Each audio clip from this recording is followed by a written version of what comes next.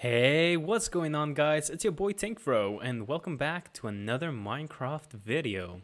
Now this is just a little bit of an update video that I kind of want to get out there um, and just kind of tell you guys what I have planned for this second channel. So I know I don't usually post a lot on this channel, but I do want to change that.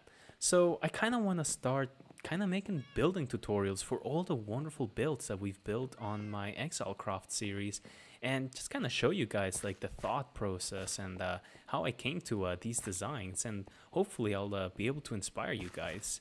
So I'd begin with the first build that we built on this world. So that would be my uh, starter house. And I think it's an excellent uh, build to start with because it really has a lot of detail, a lot of depth, and I was really, really happy to start off with this house. Um, so yeah, I guess that's kind of all I want to let you guys know. Um, let me know if uh, that's something you guys would be interested in. And yeah, I'll make sure to uh, publish that video sometime soon because I do uh, want to inspire you guys to build your own builds. And uh, I, th I think I'm a decent builder, so hopefully I can share some of my tips and tricks with you guys to uh, make your building even better. So, with all that being said, I hope you guys are having a wonderful day, and uh, that'll be it from me for today. Don't forget to uh, subscribe if you haven't already, uh, so that you don't miss any of these building tutorials that will be coming your way.